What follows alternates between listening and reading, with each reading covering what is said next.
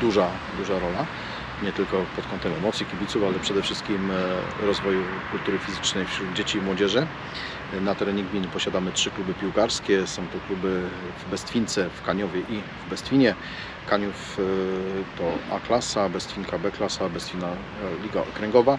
Natomiast każdy z tych klubów, co jest dla mnie najważniejsze jako wójta, to organizacja czasu sportowego dla dzieci, młodzieży.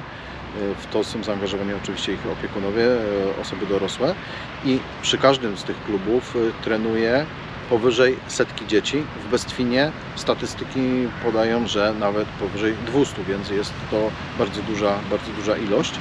Z czego się cieszę i widząc te potrzeby, widząc to zaangażowanie również, staramy się co roku w ramach konkursów przewidzianych na finansowanie tych zadań asygnować odpowiednie kwoty, żeby te kluby mogły się w prawidłowy, właściwy sposób rozwijać.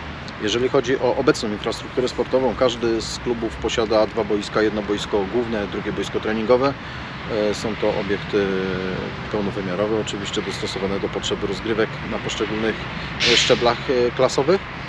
E, Oprócz tego przy każdym z e, tych obiektów są e, tereny rekreacyjne, bliżej bądź dalej, z którego również młodzi adepci sportu korzystają.